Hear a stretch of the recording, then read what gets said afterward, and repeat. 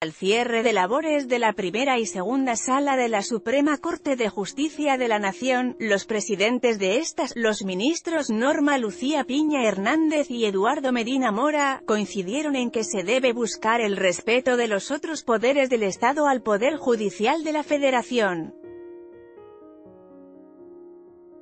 Requerimos que nos respeten, respetamos a los otros poderes y órganos del Estado en el ámbito de sus competencias y responsabilidades constitucionales, pero hoy más que nunca requerimos que nos respeten, sentenció Medina Mora, en su último informe al frente de la segunda sala de la SCJN, puedes leer, ministros de la Suprema Corte ganan más que Donald Trump.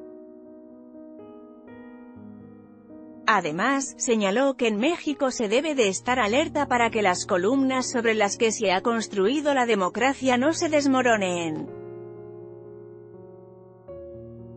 Instan a la tolerancia, por ello, instó, por una parte, la tolerancia entre quienes son contrincantes en la vida pública y, adicionalmente, la contención institucional, esto es, un uso pertinente de las facultades institucionales que garantice un sistema de controles y equilibrios elementos que no podemos ni debemos predispone, sino consolidar y fortalecer, el ministro Medina Mora, quien concluye sus segundo años como presidente de la segunda sala, añadió que como jueces no responden a la voluntad de las mayorías sino a los principios tutelados por nuestra Constitución, entérate, solo Trump gana tanto como el presidente de la SCJN. AMLO, nuestra respuesta como jueces no puede ser otra que trabajar y esforzarnos aún más.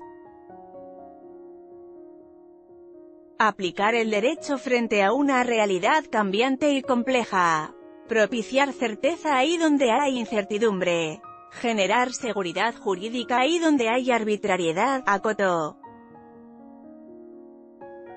Estas instituciones han hecho avances democráticos, por su parte, al concluir su tercer periodo como presidenta de la primera sala, la ministra Norma Lucía Piña Hernández resaltó que es en los momentos en que se cuestiona a las instituciones cuando éstas muestran su verdadero significado e importancia.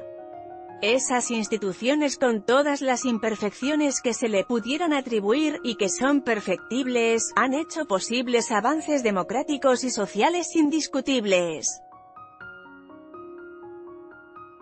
Una de ellas, es el Poder Judicial de la Federación y esta Suprema Corte de Justicia de la Nación, acotó la ministra Norma Lucía.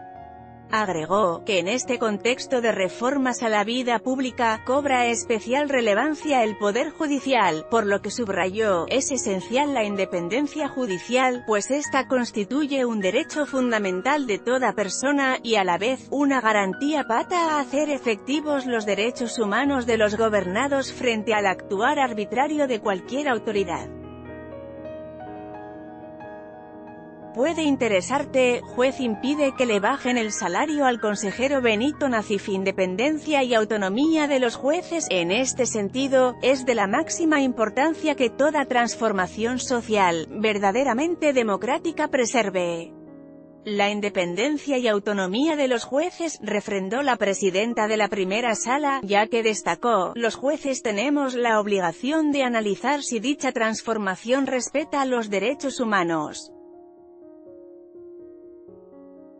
Esa es la función que se nos ha encomendado. Asimismo, señaló que no por tener una independencia judicial, los miembros del PJF debemos caer en la autocomplacencia y evitar la autocrítica, ni mucho menos que debamos ignorar los defectos y errores que, sin duda, se han dado en nuestra institución.